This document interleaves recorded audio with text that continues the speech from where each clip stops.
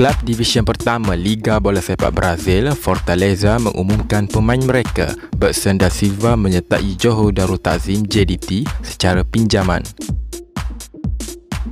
Perkara ini dikongsikan oleh Fortaleza menerusi laman media sosial rasmi pasukan di mana Bergson akan beraksi bersama JDT selama 4 bulan dan skuad Harimau Selatan mempunyai pilihan sama ada menandatangani pemain itu secara tetap atau mengembalikan Bergson apabila tempoh pinjaman tamat.